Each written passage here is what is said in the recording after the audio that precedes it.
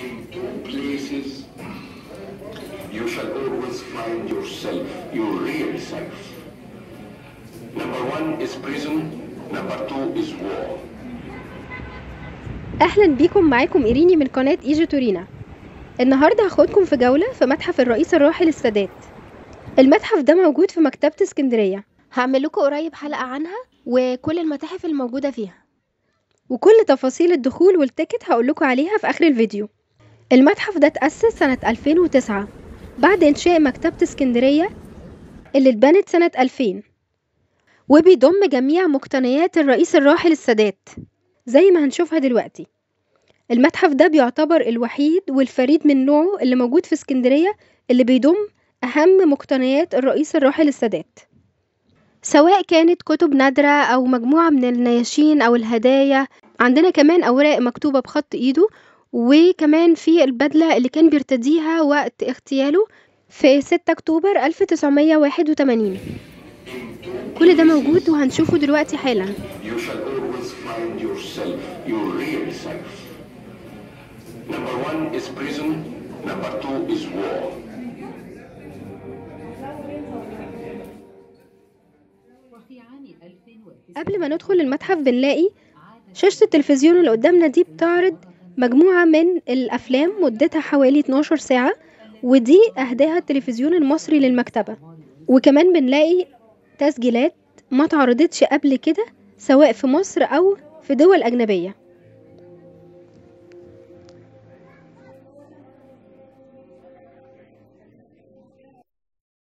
المتحف بيضم عدد من الأوسمة والنياشين اللي حصل عليها الرئيس الراحل خلال مراحل حياته المختلفة. ودول كانوا هدايا من دول مختلفة وكانت الهدايا دي متنوعة سواء هدايا ذهبية أو فضية أو برونزية ونحاسية. الصور اللي قدامنا هي مراحل عمرية مختلفة من حياة الرئيس الراحل وبتبين تخرجه من الأكاديمية العسكرية سنة 1938 وبعدها انضم لحركة الضباط الأحرار اللي كانت أهم أعمالها إن هي قامت بالثورة على حكم الملك فاروق سنة 1952 وكانت الحركة دي قيادة اللواء محمد نجيب اللي أصبح بعد كده أول رئيس على مصر. وبنلاقي صورة الزفاف الخاصة بالرئيس الراحل وزوجته جيهان السادات وكمان صورة نادرة مع أسرته.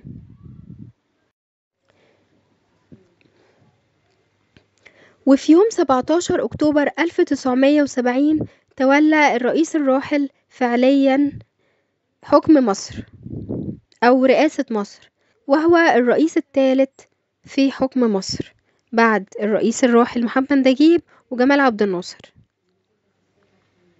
هنا في مجموعة من الصور بتوثق زيارات ومقابلات الرئيس الراحل مع ملوك ورؤساء دول عربية وأوروبية.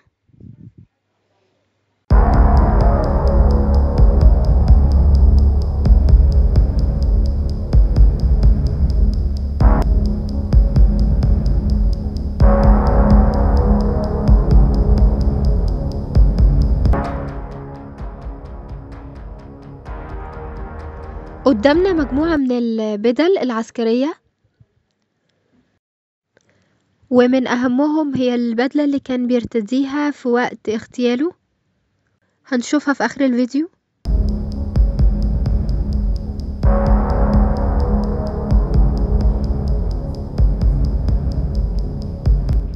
والعصا الشخصية والبايب اللي كان بيشتهر بيها. ومتعلقات تانية شخصية زي ما إحنا شايفين قدامنا. والمتحف بيضم العباءة اللي كان بيرتديها أثناء زيارته قرية ميت أبو الكوم بالمنوفية. ودي القرية اللي اتولد فيها يوم خمسة وعشرين اتناشر ألف تسعمية وتمنتاشر.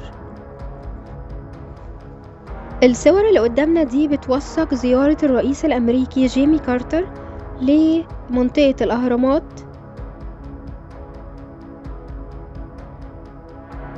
وكمان من أهم زياراته هي زيارته للرئيس الراحل في قريته.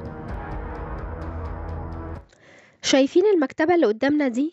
المكتبة دي هي المكتبة الشخصية بتاعته وفيها كل مقتنياته زي الكرسي والمكتب والشنطة وصورة شخصية ليه.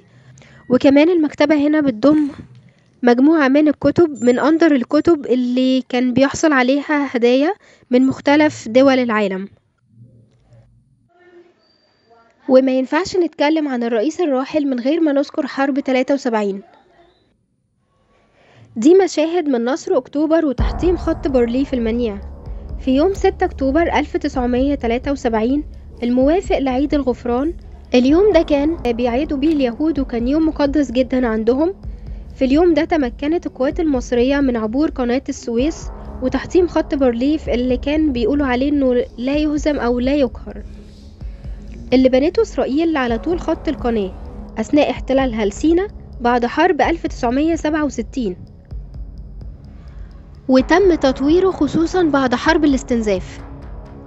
والهدف منه هو فصل مصر نهائيا أو فصل الأراضي المصرية عن سينا وعدم الوصول ليها. وهدفه أيضا كان تأمين الضفة الشرقية للقناة. ومنع عبور أي قوات مصرية ليها خاصة داخل سينا تخيلوا كده تحصينات خط بارليف وإنشاؤه كلف إسرائيل قد إيه؟ تكلفة الخط ده وقتها كلف القوات الإسرائيلية 500 مليون دولار. خط بارليف هو كان عبارة عن خطين بطول 170 كيلومتر على طول القناة وعمقه 12 كيلومتر. بيضم كتير من المواقع الدفاعية حوالي 22 موقع و26 نقطة تحصينية. من ضمنها كان في الأسمنت المسلح والكتل الخرسانية حتى قضبان السكة الحديد تم تحصينها للوقاية من كل أعمال العنف اللي ممكن تحصل ليها. فكرة تحطيم خط بارليف كانت شبه مستحيلة لدرجة أن الخبراء السوفيت نفسهم قالوا لا يمكن تحطيمه إلا بقنبلة نووية. لحد ما جه المهندس اللواء أركان حرب باقي زكي يوسف وكان صاحب فكرة استخدام خراطيم المية فهدم الساتر الترابي تمهيدا لعبور القوات لسينا. وأشهر مقولة ليه للرئيس الراحل هو ربنا حط المشكلة وجنبها الحل يا فندم ودي كأنها بتقول يعني بالبلدي كده مفيش مشكلة ملهاش حل وفعلا تم تنفيذ الخطة والفكرة دي كانت سبب في إنقاذ مصر وسينا كلها وكمان أنقذت تقريبا عشرين ألف جندي مصري على الأقل. تم إنقاذهم من الموت. الخطة دي نجحت أيضا بسبب قوة وشجاعة الجندي المصري وقدرته على الثبات في مواجهة الصعاب. وما بين العساكر الإسرائيلية كان في حوالي 441 عسكري إسرائيلي قتل منهم 126 وتم أسر 161 وخرجت إسرائيل من الحرب بهزيمة ساحقة. هنرجع تاني لمقتنيات المتحف اللي هنعرف من خلالها الكتير من الأحداث والأسرار اللي حصلت في الوقت ده. في كمان عندنا زي صندوق صغير ده بيضم ثلاث مسارج. كانت السيدة الراحلة جيهان السادات أهدتهم للمكتبة وكانوا دول عبارة عن هدايا للرئيس الراحل أثناء زيارته للقدس.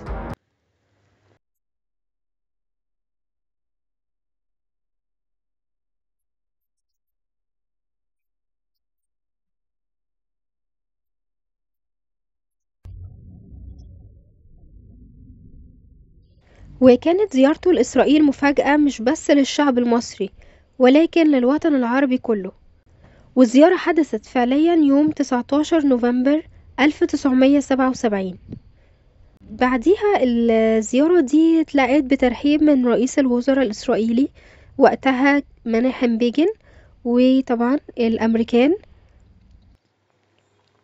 وبعدها الرئيس الراحل ألقى خطاب. خطابه الشهير في البرلمان الإسرائيلي.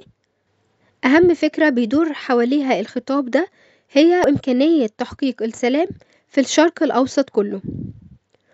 لكن الزيارة دي كانت ليها رد فعل سلبي وكان موقف بعض الدول العربية وقتها كان معادي لمصر.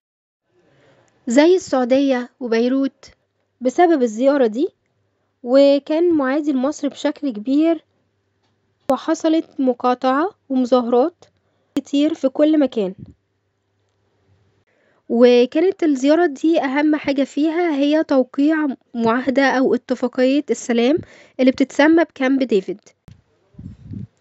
ومن وقتها الحرب وقفت ما بين مصر وإسرائيل. المعاهدة دي كانت يوم 17 تسعة 1978 اللي قدامنا دي مجموعة من الأوراق المكتوبة بخط إيد الرئيس الراحل. وكان السادات هو أول رئيس يوصل للقدس بعد إعلان إسرائيل كدولة وأول رئيس يصلي في المسجد الأقصى. وكانت قرينة الرئيس السيدة جيهان السادات حريصة جدا إن هي تجمع كل مقتنيات الرئيس وتضعها في هذا المتحف بداية من متعلقاته الشخصية حتى البدلة اللي كان بيرتديها. ومش بس كده ده في كمان أدوات الحلاقة اللي استعملها الرئيس في صباح يوم 3 أكتوبر 81 قبل ذهابه للموكب العسكري. وتم اغتياله من خلال مجموعة من النشطاء الإرهابيين وعلى رأسهم عبود الزمر. وتم نشر أسمائهم والحكم عليهم بالسجن أو المؤبد في جريدة الأخبار زي ما إحنا شايفين قدامنا ومحفوظة جوه المتحف. ويومها رفض إنه يرتدي واقي الرصاص تحت البدلة العسكرية.